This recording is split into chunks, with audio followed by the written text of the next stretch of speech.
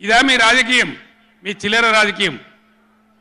మేడిగడ్డ ఏదైనా ఉంటే అందులో రెండు వందల యాభై పిల్లలు ఉంటాయి రెండు వందల యాభై మూడు వందలు ఉంటాయి. కాళేశ్వరం ప్రాజెక్ట్ అంటే ఒక ఆట బొమ్మ కాదు. మూడు బ్యారేజీలు ఉంటాయి గోదావరి మీద.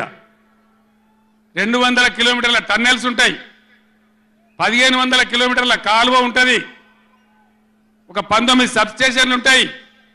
ఒక ఇరవై రిజర్వాయర్లు ఉంటాయి. ఇదంతా కాళేశ్వరం ప్రాజెక్ట్ కాదట. ఒక రెండు మూడు పిల్లర్లు కుంగిపోయినాయి. ఎన్నిసార్లు కుంగిపోలే? నాగార్జున సార్లు కుంగిపోలేదా?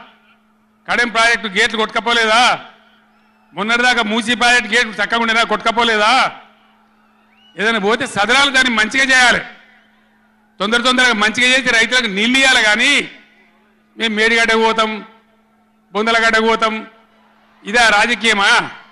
ఇది తెలివా? తెలివి అనిపించుకుంటుందా? ఇవి కాదు కావాల్సింది రాష్ట్రానికి ప్రజలకు కావాల్సింది.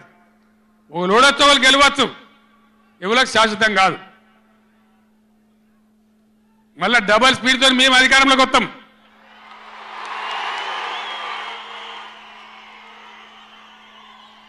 అప్పుడు మేం గిట్లే మాట్లాడన్నా ఈ పద్ధతి అనుసరించానా